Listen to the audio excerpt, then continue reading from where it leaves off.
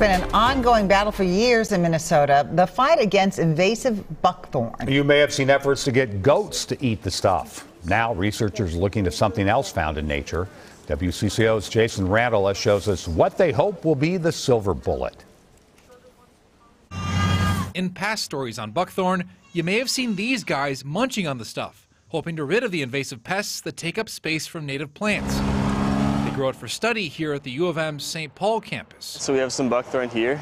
This is a female plant with the berries starting to form here. And you do not have to look far to find it elsewhere. So this research just started at the beginning of the year. Dr. Pablo Olivera Firpo is the lead researcher on the study. It all starts with a fungus called crown rust. It grows naturally on buckthorn. There's not too much infection this year. The study would collect buckthorn infected with crown rust, extract DNA from the fungus, and see which species of the crown rust is most impactful. Crown rust can stunt the growth of buckthorn and even kill it. Let's use a, a pathogen, an organism that it's already impacting on, on the plant, and see if we can use it in our favor to provide an extra tool to control this this invasive plant. This is just the beginning of the three-year study. This is extremely early. Just three weeks ago, the U started surveying infected buckthorn across the state.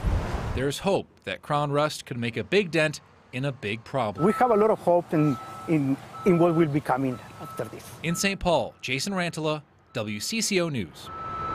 That project will likely extend beyond the three years. Researchers say crown rust could possibly be used alongside other efforts like pesticides and goats.